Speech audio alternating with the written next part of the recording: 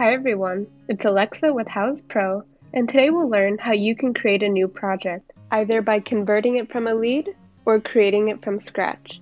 It's easy to keep your business on track when you use projects on Houzz Pro. Projects are like folders.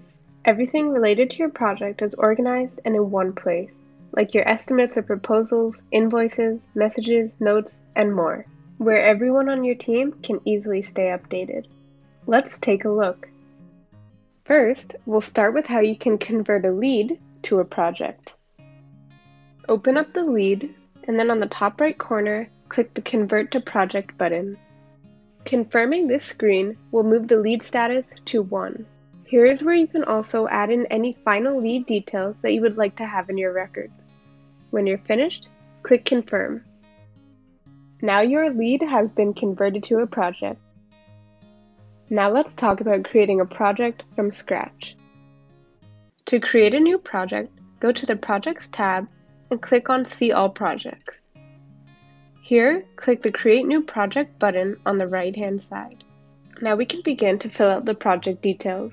First, we put in the project name,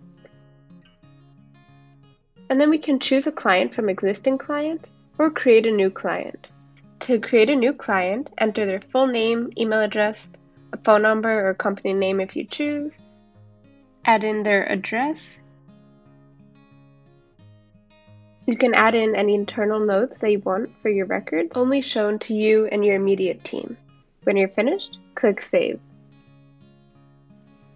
Next, you can select the project type from the drop-down list by searching for the project type that matches your project.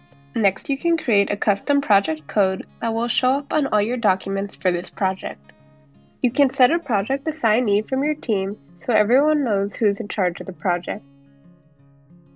In the Addresses section, you can hover over the I for the Information button, and in the Client, you can change the billing address and shipping address. You can also add additional addresses. In the Financial Details section, you can add a budget, and in the Online Payment Methods section, you can set up your online payments. With online payments on Houzz Pro, you get paid fast and at low transaction fee rates. To learn more about online payments, watch our other video. Lastly, there's the additional info. Here you can enter the project zip code as it may be different than your client's address, and this will determine the default pricing for material and labor costs for the project. And finally is the project scope, where you can type in anything regarding the scope of the project. Click Done when you're finished. If you ever need to go back in the future and edit the project details, you can do so from the project overview page by clicking the edit button on the top right. Here you can edit the client info as well as any of the other details.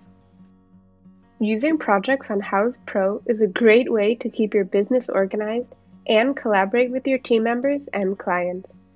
Thanks for watching.